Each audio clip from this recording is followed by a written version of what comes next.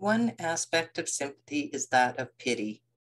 Pity for the distressed or pain stricken, with a desire to alleviate or help them in their sufferings.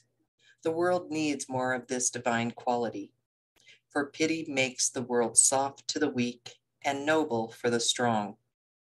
Another form of sympathy is that of rejoicing with others who are more successful than ourselves, and though their success were our own.